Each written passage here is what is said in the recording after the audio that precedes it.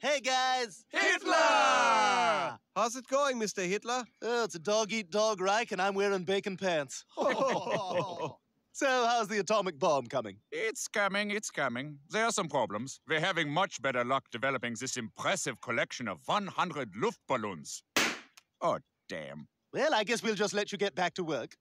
Oh, I almost forgot. I don't suppose you boys have some uranium I could borrow. Oh, of course. Give him some uranium, Mean Joe Greene. Hey, kid, catch. Thanks, Mean Joe. He's not really mean at all. Nah, he's a nice guy.